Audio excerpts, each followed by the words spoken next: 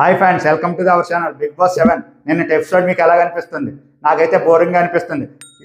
ఈ మొత్తం serial batch మొత్తం గ్రూప్గా మారేసి వాళ్ళ వాళ్ళు కాపాడుకున్నారు.